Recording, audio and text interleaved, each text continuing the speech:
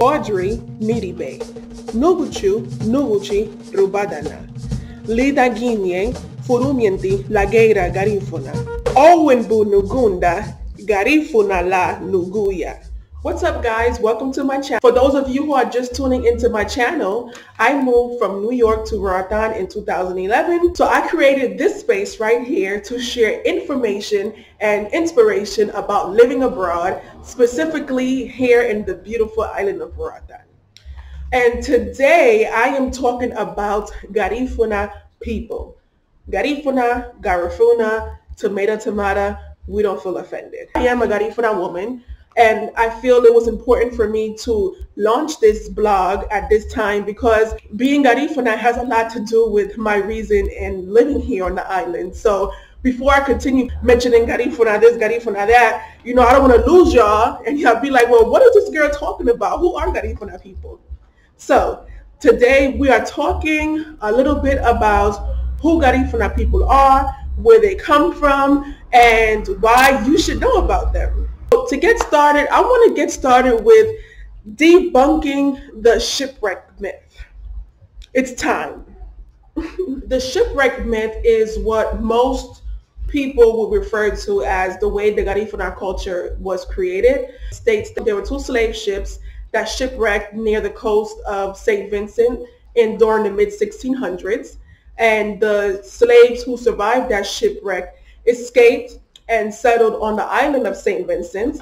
They mixed with the indigenous group of people who already inhabited that island, and the fusion of those two cultures gave birth to what we know today as the Garifuna. Now this was very convincing to me until I started my Black Studies minor in college, and our professor introduced us to the book They Came Before Columbus by, by Ivan Van Sertima.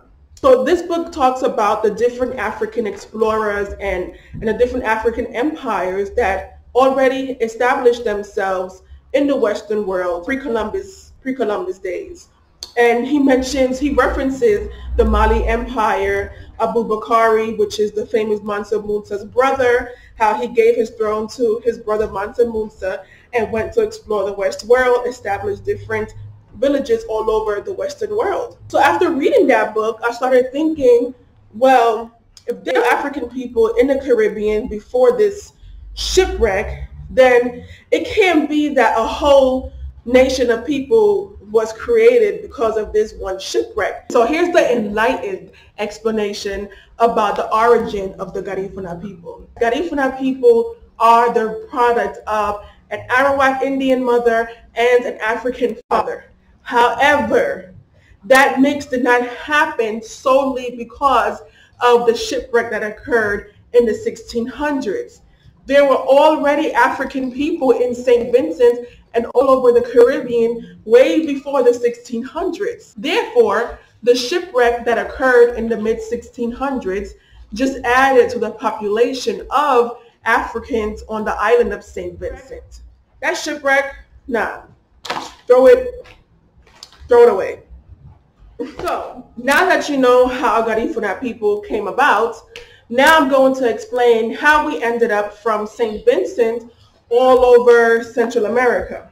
We were on the island of St. Vincent. We had a well-established life. We were self-governed, self-sustainable. We were living good. We were happy until the British decided to colonize St. Vincent as they were doing all throughout the Caribbean but the Garifuna people were like, oh no, we're not having that. We're going to war. We're going to fight. You are not going to enslave us. We declared war and we were fighting for many years. Eventually, the Garifuna people lost the war and the British exiled them. But before exiling the Garifuna people, they rounded up the 5,000 most rebellious Garifuna and sent them to the island of Balliceaux, which is basically it's part of the Grenadines, is in the same area. Now, I call that an intent of genocide because that island, it was uninhabitable. There was no fresh water. You couldn't um, harvest your crop. You couldn't use, you know, the material with the trees there to build your homes. And so the Garifuna people began to die at a, at rapid rates. I guess it was too much debt at one time for the British, or who knows, who knows what, what made them have a change of heart. But anyway, they decided to ship the Garifuna people from the island of St. Vincent to a far British territory that they had at the time, which was the Bay Islands of Honduras. But that wasn't part of Honduras in that time of history. It was British territory. So they shipped them all the way here to the island of, of Roatan. Out of the 5,000 who were exiled, only about half of them actually made it alive to the island of Roatan. Now, at that time in history, the Spanish had control of the mainland in Honduras. And they convinced a lot of the Garifuna people, most of them who landed on Roatan, to move to the mainland in search of work. They were promised, you know, a better life. They convinced them.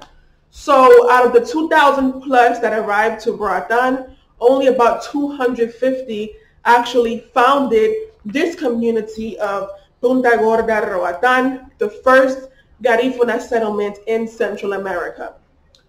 From here, they established the first Garifuna community on the mainland of, Honduras, which is Trujillo.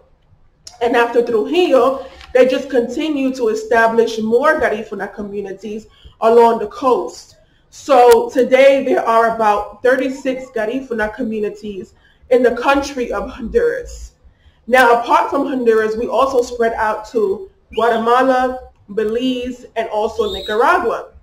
So present day, 2020, there are established Garifuna communities in those four Central American countries. Now let's talk about our language. So Garifuna people speak Garifuna. So yes, Garifuna is not only the name of our people, but it's also the language that we speak. According to Garifuna scholar and educator Ruben Reyes, who wrote the who wrote this Garifuna dictionary.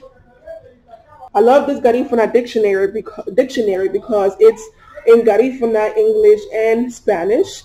Now, this book can be purchased online. So I'm gonna I'm gonna leave a link to this book for those of you who are interested in about the language. You could purchase this book online. Our language is comprised of 45% Arawak, 25% Carib, 15% French, 10% English, and the other 5% depends on the region in, in Central America where the Garifuna community is located. So, for example, in Belize, their language, their, the native language is English, right? So the Garifuna people in Belize have a lot of English words mixed into the Garifuna language. Whereas the Garifuna communities in, in Honduras and Guatemala and um, Nicaragua, those are Spanish-speaking countries. You can hear a lot of Spanish influences in the in the language. Spirituality.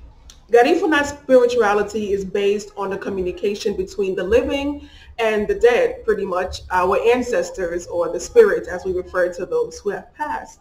There are different types of ceremonies that are held to honor those who have passed and and each each ceremony has their particular reason. The person who's the, like the medium or the person who facilitates this communication, we call them a buye.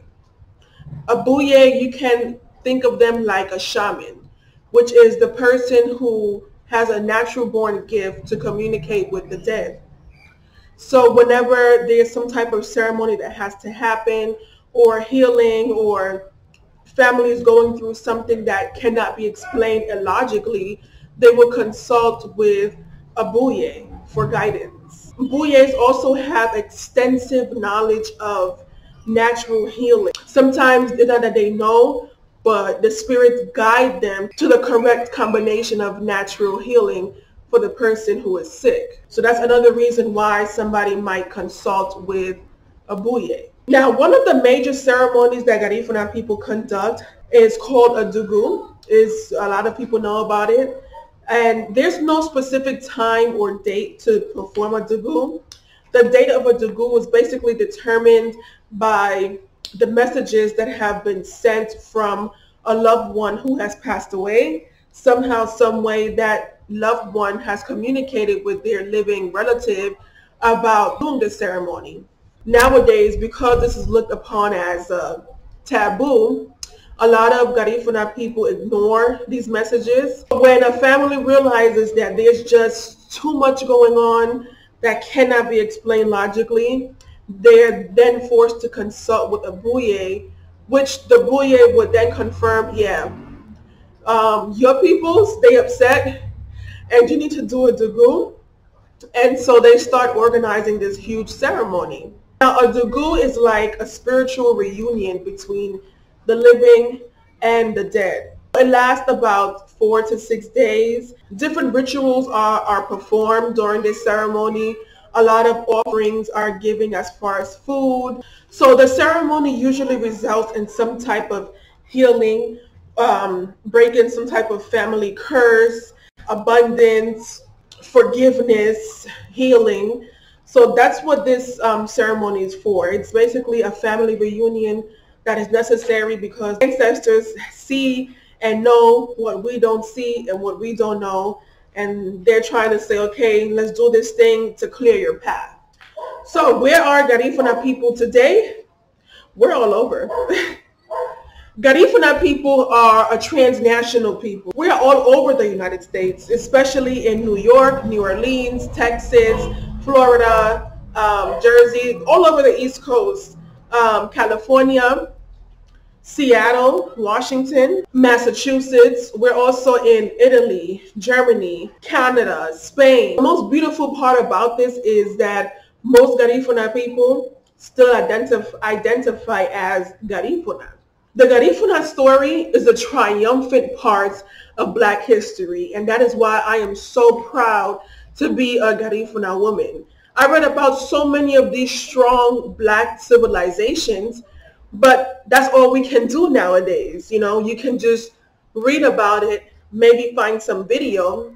But with the Garifuna culture, a specific group of black people who resisted slavery and preserved every aspect of their culture until today, 2020, still exists. And it's just so amazing. You can literally go and visit these Garifuna villages today you know, like book your ticket and go see and interact and speak with the elders. We're still here and we ain't going nowhere. So yes, I am so proud to be able to share this culture, to be able to share my culture. And this is why I did this video today because it has a lot to do with the reason why I live here on the island. As I said before, my family, we have a, a cultural center here, Flamingo Cultural Center in Punta Gorda. And what we do is we share our Garifuna story with visitors in different fun ways, you know, whether it's showing you how to fish the Garifuna way or cooking lessons, how to grate coconut on one of these or one of these like this wooden grater behind me. So we have different experiences for you to, to try. And I'm going to leave a link in, in the description box below. I'll do another video explaining in detail what we do offer at the Cultural Center for those of you who are planning to visit the island and learning more about the Garifuna culture. So thank you so much for watching. If you have any questions or any comments, if you know any other information that I don't know, please feel free to comment or send me an email, connect with me through Facebook and like, like, and please share this video. And don't forget to subscribe to my channel. Then came Roatan. Good morning, good evening, good afternoon, depending on where you're watching me. It was a pleasure for me to share with you all today a little bit about my culture, the Garifuna people. So next time,